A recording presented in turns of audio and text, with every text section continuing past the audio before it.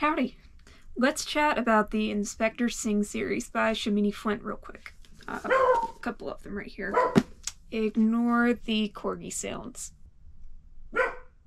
Okay.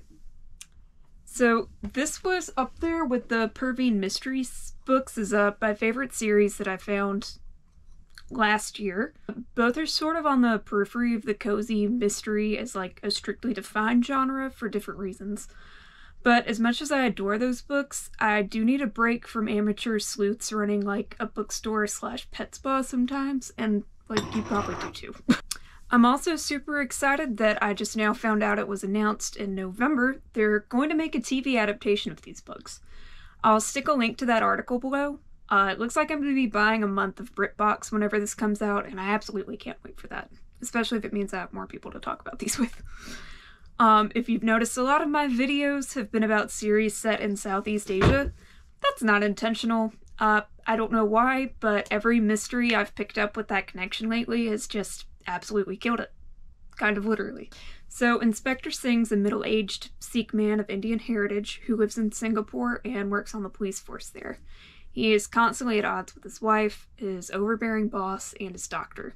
He's this crotchety, pudgety, and in some ways unlikable little man who believes that the key to solving most homicides lies in deciphering the behaviors and motivations of the people involved, and that this is really becoming a lost art in the age of CSI and fancy forensics tech. Through some admittedly convoluted situations explained as his supervisor's efforts to be temporarily rid of him, uh, the series is able to skip around to a different setting in each book, as you can probably infer from the titles. These feel very much like Hercule Poirot novels to me, much just because of how Singh's character is and all this traveling. Most are in Southeast Asia, the last one is in England. Each book does tend to have an environmental or social justice theme. The first one, A Most Malaysian Murder, especially does what it can to convey to the reader the dire situation of illegal logging in Borneo's rainforest and the atrocities committed against the indigenous peoples living there. The author has even said herself that she's trying to make up through her writing for the time that she spent working as a corporate lawyer.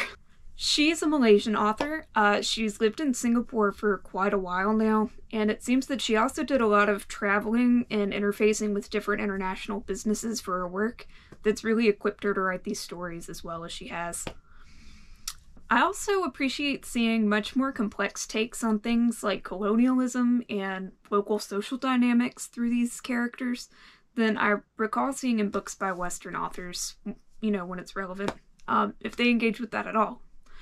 I'm used to seeing pretty America brain takes that don't really go beyond just looking at the relationship between the West and whatever non Western setting you're in, and just kind of implying like colonialism bad.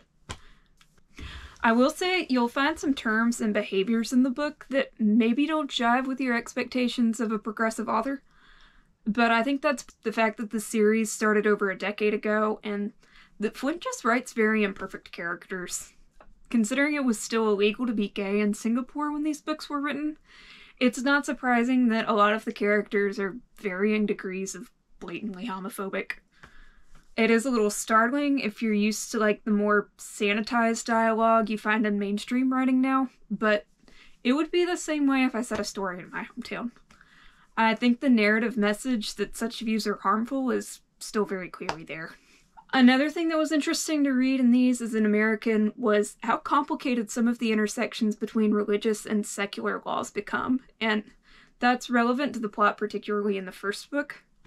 So, by religious law, I mean laws that are respected and I think also enforced by the secular government of a country, depending on the citizen's religious affiliation and kind of like the jurisdiction there, I guess. Besides all of that, though, Flint just does a fantastic job of painting the scene and crafting interesting characters for you with small details. These are very compelling, well paced stories with decently intricate mysteries. You always learn a fair bit about the setting and get a glimpse of the local cuisine through Singh's frequent excursions to find beer and a good curry for lunch. I think my favorite so far, keep in mind, I actually still have two left to go, would be the fifth, A Curious Indian Cadaver, although I rank them all pretty closely. I think my least favorite is the fourth, A Deadly Cambodian Crime Spree. because I thought the actual mystery part of that book sort of fell through in comparison to the others. But uh, you do learn a lot about the Khmer Rouge in that book and just the mind bogglingly horrific effects of that that are like very much still felt to this day. If you aren't familiar with that indescribably bleak chapter of history, as well as the role of the United States in it, uh, you should remedy that. I had heard of it, but I honestly didn't know anything about it until a couple of years ago, and you know, I considered myself to already be someone who was pretty interested in world history at that point. We're really not taught enough about it here. So, in the spirit of keeping things fairly brief, uh, I'll wrap this up now. I think these are great, and I want everyone to dive into them ASAP so that maybe Shamini Flint will feel compelled to write an eighth book, since the most recent one was published back in 2016, especially with the TV show coming out. So, yeah, get on that. And, uh,